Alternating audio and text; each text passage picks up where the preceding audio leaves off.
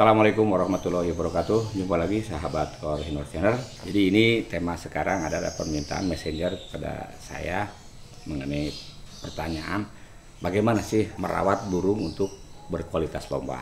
Nah ini juga barangkali saya juga memenuhi keinginan teman-teman ya walaupun bukan yang segala-galanya lah apa yang saya ketahui tapi saya ingin bagi sharing kepada teman-teman yang pemula lah yang belum belum pernah menyiapkan burung-burung untuk persiapan ke ke lapangan ke lomba. Nah, e, kalau kelihatan melihat daripada populasi kemungkinan burung bisa manggung di tingkat LPI standar dewasa bebas itu kan saya pikir eh, sangat berat dan perbandingannya bisa satu banding 100 ribu. Kenapa saya katakan bahwa satu banding 100 ribu? Sebut saja lah anggota PTGSI ada 4 ribu, rata-rata punya 20 petak atau 20 kandang, berarti 8 4 ribu dikali 2, 8 ribu dikali 12 selama satu tahun, jadi sekitar 100 ribu lebih lah jadi begitu beratnya. Jadi burung-burung yang muncul jadi juara yang melegenda seperti Susi Susanti, seperti Misteri Bahari, seperti Messi, Gajah Mada, itu kan dari 100 ekor burung itu hanya muncul satu atau dua ekor burung. Dan posisi burung-burung yang memiliki juara itu kan setiap saat itu berubah-ubah. Mungkin hari ini di Palem ada yang juara sampai tingkat nasional, besoknya di Capayang, besok lagi di Cakrawal, besok ya tiap dulu terminal dan sebagainya. Selalu berganti lah. Berarti kalau melihat dari posisi seperti ini siapa pun sih sebetulnya siapa pun juga bisa. Termasuk juga peternak kecil. Karena untuk menjadi burung yang melegenda itu terkadang bisa datang bisa muncul di peternak mana saja. Jadi tidak perlu harapan. Tapi dengan cara pola rawatan seperti minimal setidaknya burung kita mau bunyi lah di lapang. Ya mungkin jadi juara ke-6 juara ke-7 karena rajin bunyi dan di episode yang lalu saya bahas tentang burung ordinat dan subordinat. Jadi burung yang ordinat itu memang tidak banyak, satu atau dua lah dalam suatu lomba itu juga tidak banyak. Bayangkan dari burung-burung yang mohon maaf, dari juara hanging ada 100 gantangan, ada nggak yang naik ke kelas setengah tiang? Nah, ada dua blok, naik lagi ke kelas junior. Nah, kan sudah mulai berguguran. Kalau di baratan di MotoGP kan juga sama. Dari kelas Rocky naik ke kelas 1 250 250 naik ke Moto2 Moto2 naik ke ada beberapa pembalap itu yang masuk ke kelas MotoGP dan yang di juaranya juga di MotoGP itu kan hanya itu itu saja lah dari mulai Marquez belakangnya ke Rossi Mike Dohan dan John Kocinski. Jadi tidak banyak sih sebetulnya. Tetapi kenapa tidak? Kita mencoba lah kita mencoba bisa fight menyiapkan burung-burung yang berkualitas untuk standar lomba. Minimal burung itu rajin bunyi. Dan bagi teman-teman yang ingin main di kualitas burung-burung lomba pertama adalah konsistensi. Jadi konsisten kita di dalam merawat burung. Dua adalah kesabaran. Dan yang terakhir adalah laki. Tanpa itu juga akan sangat sulit. Nanti kita peragakan bagaimana sih sebetulnya merawat. Dan itu laksanakan secara khusus. Dengan catatan burung itu sudah memenuhi standar lomba. Depannya bagus tengahnya satu-satu tebal ujungnya glosor iramanya enak asal suaranya bagus. Itu Nah, kebanyakan banyak burung yang di rumah, di kandang kita rajin bunyi, kalau ke lapang nggak berbunyi karena juga masalah menyangkut dengan faktor-faktor dressur dan pembiasaan terhadap burung itu sendiri. Jadi pada akhirnya burung yang bagus diperlukan mental yang bagus dan pelatihan yang konsisten dan konsekuen. Oke, kita praktekkan. Nah, eh, ini kita mencoba kita mempersiapkan burung dari mulai pihik untuk bisa kita siapkan menjadi burung yang biasa dibawakan ikut dalam lomba yang kita praktekkan. Ini burung masih uh, masih pihik lah, umur dua tiga bulanan lah, dua bulan setengah tiga bulan ya kita praktekkan. Jadi apa-apa saja yang harus kita kerjakan agar burung betul-betul e, nutrisinya terjamin dan mentalnya terlatih. Karena tanpa itu kita akan kesulitan menciptakan burung yang memiliki apa? Memiliki mental yang bagus, nutrisi yang lengkap, juga latihan-latihan yang sesuai dengan e, kebiasaan-kebiasaan simulasi yang akan kita hadapi dalam sebuah proses lomba.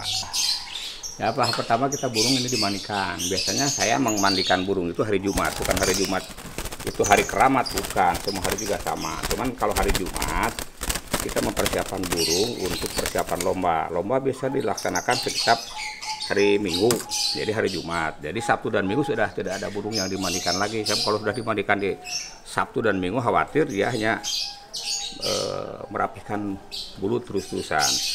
Apa yang diberikan? Nah ini kita mandikan dulu ya. Burung ini kita mandikan. Kita mandikan karena dengan dimandikan akan sehat pertumbuhan bulunya menjadi cepat menjadi cepat dan juga burung sangat bersahabat familiar dengan kita dengan manusia. Nah, dimandikan pakai air putih saja lah ini burung kelihatannya masih baru tumbuh bulunya. Apa yang diberikan? Nah yang pertama kita berikan minyak ikan. Kandungannya vitamin A. Ini khasiatnya yaitu untuk membantu burung cepat tumbuh subur untuk bulunya. Nah kita berikanlah hmm. dah masuk ya. Masuk saja. Yang pertama. Yang kedua kita akan berikan daging kepiting. Nah daging kepiting. Jadi bisa daging kepiting ini dimasukkan ke kulkas diambil dagingnya masukkan ke kulkas simpan di freezer. Dan kita apa seduh dengan dengan air panas supaya jadi uh, luluh itu apa nah ini daging kepiting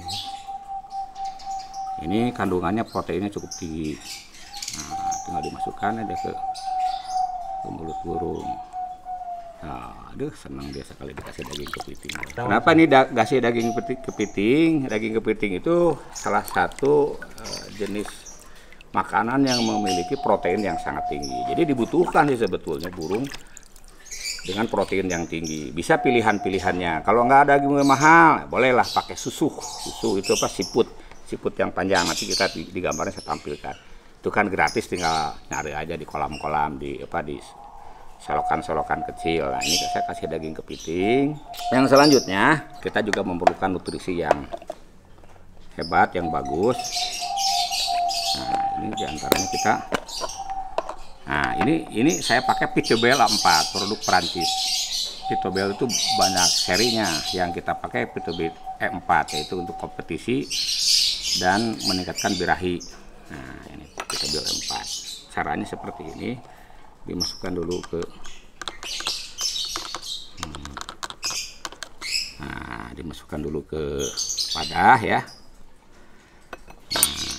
Kita larutkan dengan air Sab. Nah dilarutkan dengan air. Apabila dilarutkan dengan air ya.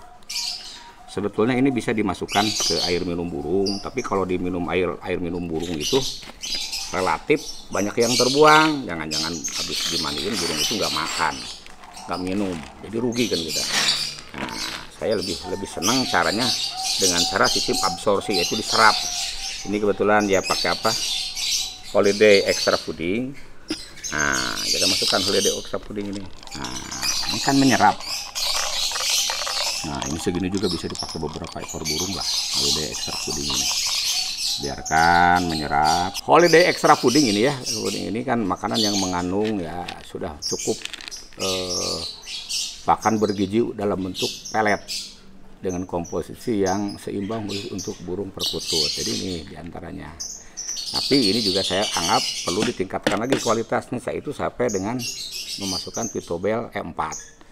Biasanya kalau kalau peternak lain di burung-burung impor ini seperti perkut apa eh, Yorkshire, Kenari, Lapwood ini kan dimasukkan ke air minumnya kan sayang banyak yang terbuang. Makanya saya diseduh seperti ini aja dimasukkan ke holiday extra pudding kita kasih makan ke burung di samping menjadi lembek ya dimasukkan ke burungnya oh, satu nah, diurut-urut sampai sudah yakin masuk baru dikasih empat lah.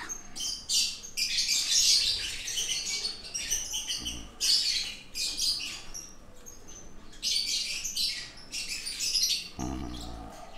urut-urut ya. Nanti burung juga jadi jadi familiar lah dengan kenal dengan kita. Dikasih empat ya. Apa hmm. satu lagi hmm. nah ini udah ya.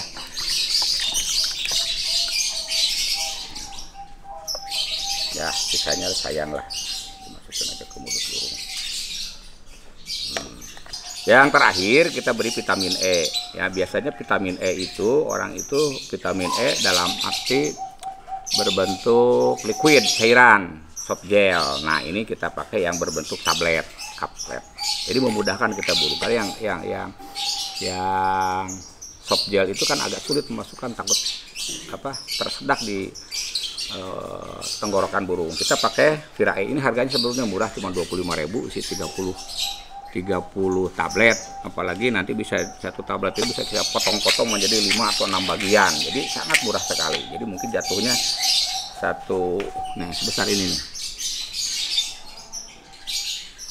Nah tujuannya dengan vitamin ini kan mencepat burung cepat birahi juga membantu pertumbuhan tubuh dan sebagainya. Dan reproduksinya jadi jadi bagus. Nah ini kasih terakhir ya vitamin E.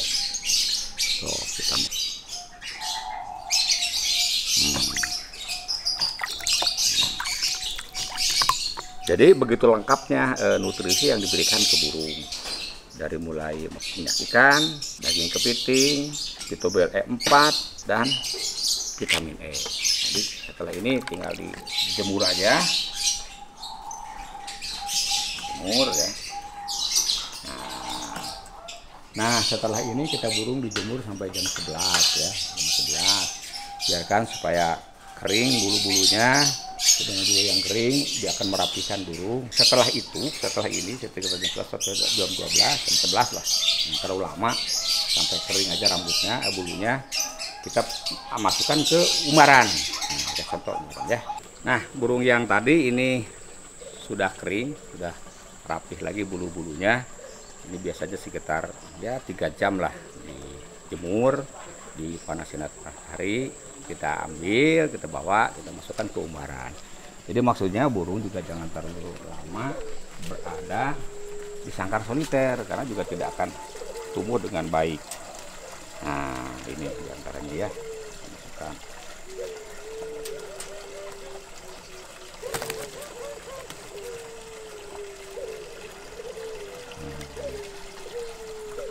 ya yang tadi ya contohnya. Sebetulnya ini bisa banyak bukan satu burung saja dua atau tiga burung masukkan aja dengan betinanya. Supaya dia bisa bersosialisasi bergaul dengan burung-burung yang lain. Nah, kita masukkan ya kita masukkan ke umaran nah, ini dia bisa oh, bisa terbang dengan leluasa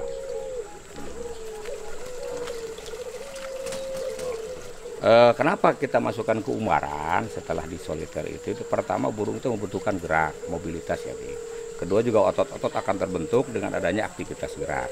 Yang ketiga bahwa burung kita kan tadi diberi nutrisi yang cukup tinggi, tidak bermanfaat kalau kita memberikan vitamin burung nutrisi tinggi, tetapi hanya disimpan di dalam soliter kan jadi tidak menjadi energi. Untuk sementara ini energi nutrisi yang kita berikan ke burung itu tidak difokuskan untuk menjadi suara burung, minimal menjadi sehat aja dulu. Sehat pertumbuhan bulunya, pertumbuhan ototnya, mentalitasnya.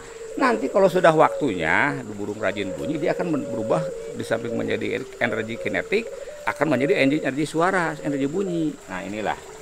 Nah, ini burung sengaja diberikan dikasih temen. Nah, nah ini juga banyak lah teman-temannya aja lah. Jadi kita bisa gabungkan dengan jadi tadi kan hanya satu satu ekor burung saja. Sebenarnya kan bisa lebih dari satu ekor burung lah. Satukan aja dengan betinanya, digabung dengan betina yang lain. Dan juga jangan yang jangan lupa burung itu kan harus sering dipegang.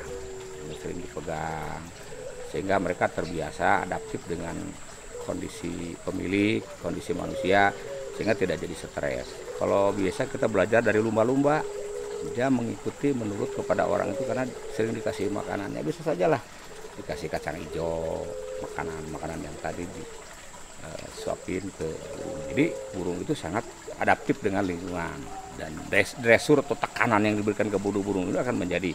Kalau perlu saya kadang-kadang setel musik lagu rock yang keras kalau dia terbiasa dengan kebisingan. Setel radio juga nggak apa-apa nggak usah.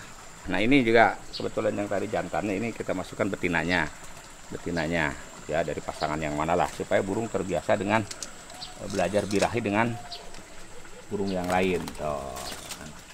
dia bisa bisa memanfaatkan energi kinetik menjadi e, makanan yang ada itu menjadi energi gerak. Umaran ini sengaja saya desain dengan panjang ini 2 meter 10 jadi kotak ini 70 cm kotak ini 70 cm ini di sengaja saya kosongkan. Tuh dia kudu bisa terbang lalu ada. Untuk ini juga sama 60 cm ini 60 cm ini 70 jadi 2 meter 10 60 60 60 ya. Nah bagaimana persoalannya kalau burung nanti susah nangkap? Ini pakai metode ini kita pakai pakai ini penyekat jadi kalau nangkap burung kan gampang ini dibagi tiga kan tinggal disekat aja. Ini. Nah,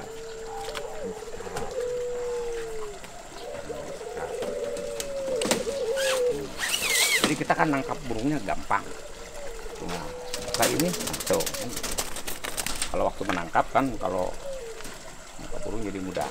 Ya oke ini baru eh, part 1 nanti ada lanjutannya. Bagaimana menciptakan tekanan di burung agar sebuah simulasi mirip dengan proses lomba terutama di dalam proses pengangkutan dari kandang kita ke tempat lomba itu kan ada tekanan ada dressur bagaimana? Apa intervensi? Makanan apa? Di antaranya akan kita kenalkan adenosin triposfat yaitu sebagai eh, nutrisi dalam rangka mengcover untuk energi yang digunakan, kelelahan dan stres dalam proses pengangkutan. Dan itu biasa digunakan oleh seluruh binatang-binatang atau makhluk-makhluk yang dikompetisikan seperti di merpati, ayam, kuda, sapi termasuk juga biasa digunakan oleh pitbull untuk proses apa memburu babi hutan. Tanpa itu pitbull juga tidak memiliki energi yang kuat. Bayangkan saja kita juga perjalanan dari Tasik ke Jogja naik mobil berapa energi yang kita buang. Sedangkan burung juga sama memerlukan perlakuan. Nanti kita bahas di episode selanjutnya kedua. Tapi jangan lupa subscribe dulu ya. Ini kita bagi menjadi beberapa episode lah.